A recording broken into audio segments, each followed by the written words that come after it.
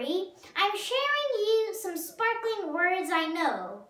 So let's get into the video. Berate. It means to scold or criticize someone very angrily. For example, my mom berated me because I was naughty. The past tense is berated.